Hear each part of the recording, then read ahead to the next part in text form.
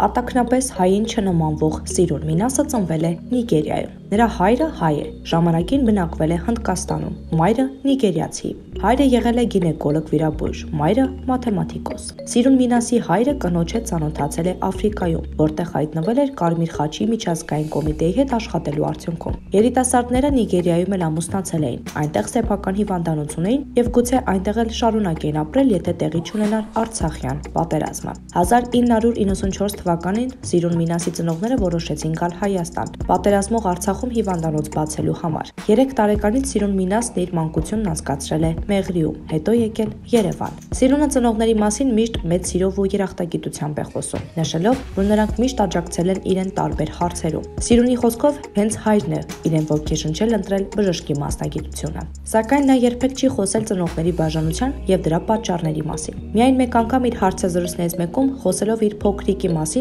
Սիրունը խոստովանել է, որ իր մանկության մեջ կա դրվագ, որ չէր ցանկանա, որ իր երեխան էլ ապրի։ Իմ ծնողների բաժանությունը այ դա հաստատ չեմ ցանկանա, որ իմ երեխան վերապրի։ Անկեղծացել է Սիրունը։ Թե որևէ այլ մեկնաբանություն նա չի արել, սակայն նրա խոսքով արդեն իսկ բարձ է դառնում, որ ծնողների բաժանությունը Սիրունը ծանր է տարել։ Հիշեցնենք, որ Սիրուն Մինասը եւ Ռաֆայել Վարդանյանը ամուսնացել են 2019 թվականին։ Զույգի առաջնեկը լույս աշխարհ է եկել 2020 թվականի հուլիսին։ Սիրունը որդու ծնվելուց հետո արագ վերադարձավ բժշկական իր աշխատանքին, իսկ եթերում նրան դեռ չենք տեսնում։ Ամիսներ առաջ էլ լույս աշխարհ եկավ Զույգի դուստրը։